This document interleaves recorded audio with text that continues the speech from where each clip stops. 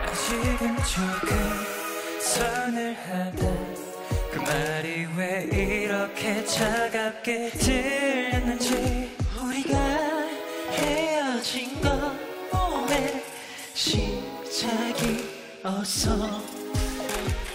난 앞에 아련한 추억.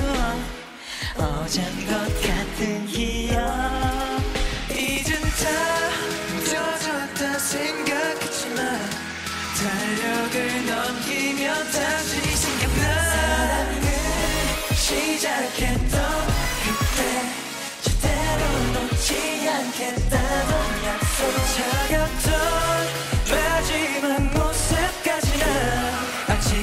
생생히 기억하는데 혹시 다 지워버린 건 아닌지 애초에 없던 사람인 건 아닌지 그대 인생에 존재하지도 않는 의미조차 없는 그런 추억이었다면 난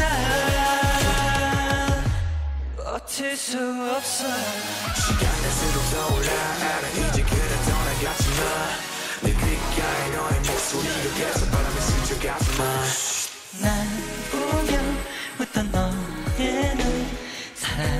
사랑을만 하던 입술 하루를 열심히 난 견뎌냈지만 내 시작에서 넌 다시 돌아 안녕이라고 말해줬다면 이렇게 비참하지는 않을 텐데